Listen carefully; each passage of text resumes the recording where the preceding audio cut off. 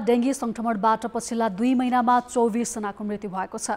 सङ्क्रमण घट्नुको सट्टा बढेको बढै छ साउन सोह्र गते यता अठार हजार एक सय अडतिसजना सङ्क्रमित थपिएका छन्। अहिले घर घरमै सङ्क्रमित भेटिन थालेका छन्।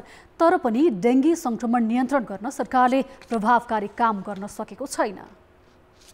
नेपालमा दुई हजार उन्नाइसमा सत्र हजार नौ सय बयानब्बेजनामा डेङ्गी सङ्क्रमण देखिँदा छजनाको मृत्यु भएको थियो। अहिले करिब नौ महिनामा उन्नाइस हजार तेइसजनामा सङ्क्रमण पुष्टि भइसकेको छ।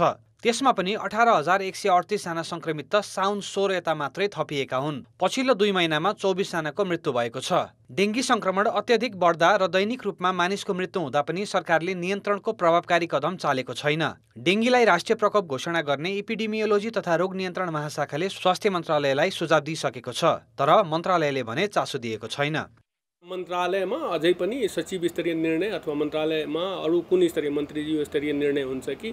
अब त्यो त्यसको लागि विज्ञहरूसँग छलफल गर्नुपर्ने हुन्छ त्यसको तथ्याङ्कहरू एनालाइसिस गर्नुपर्ने हुन्छ र यदि प्रकोपको रूपमा यसलाई घोषणा गर्ने हो भने त्यो निर्णय हुनुपर्छ। त्यो उहाँले अनुरोध गर्दैमा अथवा उहाँले जानकारी दिँदैमा त्यो हुँदैन। तर प्रकोप चाहिँ हो किनभने प्रकोप एक्कासी यही विगत तिन हप्तामै तेह्र हजार जति केस छ अनि टोटल चार महिनामा त अठार हजारभन्दा बढी केस छ डेङ्गी सङ्क्रमित बढ्दा अस्पतालमा बिरामीको चाप छ।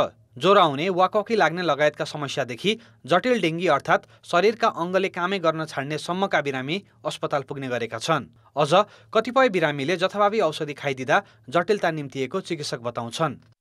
साधारण ज्वरो जिउ दुख्ने जोडी दुख्ने होइन अलिअलि चिलाउनेदेखि लिएर अब हाम्रो अस्पतालमा आउने बिरामीहरू चाहिँ एकदम धेरै यो सिभिरिटी सिभिरिटी भन्ने भन्ने कुरा गर्नुपर्दाखेरि चाहिँ अब सिभियरमा चाहिँ प्रेसरै नपुगेर प्रेसर राम्रोसित मेन्टेन नभएर विभिन्न अङ्गमा चाहिँ राम्रोसित रगत सञ्चार नभएर अङ्गहरूले काम गर्न काम गर्न छोड्ने खालका बिरामीसम्म आएका छन्। अहिले पचहत्तर जिल्लामा डेङ्गी सङ्क्रमण देखिसकेको छ। काठमाडौँ ललितपुर लगायत दस जिल्ला बढी प्रभावित छन्। त्यति मात्र नभएर पहाडी र हिमाली जिल्लामा पनि सङ्क्रमण बढेको बढै छ सहज रूपमा परीक्षणको व्यवस्था समेत हुन सकेको छैन। परीक्षण किटको मूल्यमा एकरूपता ल्याउने घोषणा गरेको सरकारले दुई साता बितिसक्दा समेत कार्यान्वयन गर्न सकेको छैन। यसले नागरिकका समस्यामा सरकार कति उदासीन छ भन्ने पुष्टि गरेको छ। कान्तिपुर समाचारका लागि क्यामेरामा विनोद थापा र विकास जोशीका साथ कृपाल गौतम काठमाडौँ।